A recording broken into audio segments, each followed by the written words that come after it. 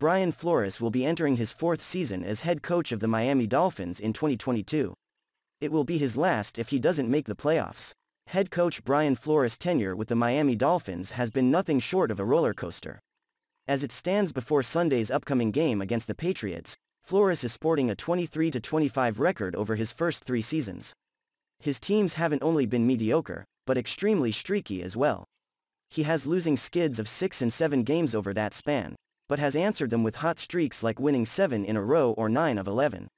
His job has even been rumored to be on the hot seat in the not-so-distant past, but has instead showed that the players are still willing to rally around him. The impressive turnaround by the Dolphins in 2021 was enough to save Flores' job for another season. But the leeway is gone, and 2022 will be a make-or-break year for the head coach. If Miami fails to qualify for the playoffs for the fourth year in a row, then yet another regime turnover could be in the works. It is hard to look at Brian Flores' track record as a head coach and convince yourself that he is the answer as the man in charge. His numbers in comparison to other failed coaches in recent Dolphins history are eerily similar. Joe Philbin coached 52 games in Miami and wound up with a 24-28 record. His winning percentage is just a shade lower than Flores.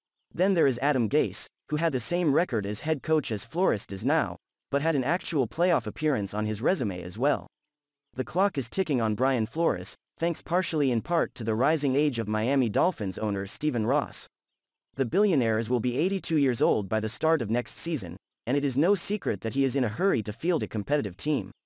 This fact, coupled with the urgency of Flores to save his job, could lead to drastic changes to the Dolphins roster this upcoming offseason.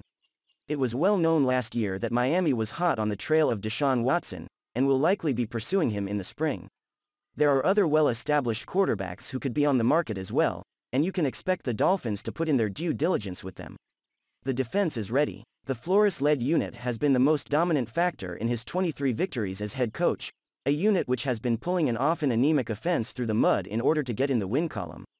In the eyes of the owner and the head coach, the Dolphins are just a piece or two away from being contenders in the AFC. They figure that if they bring in a top-flight quarterback and invest in some veteran offensive lineman, the Dolphins could be a force on both sides of the football. If Brian Flores were headed into his second or third season as head coach, then it would be more likely that he would stick with Tua Tagovailoa as quarterback start. But given his situation and the one of the franchise as a whole, look for him in the front office to be as aggressive as possible this off-season in order to ensure a playoff berth in 2022.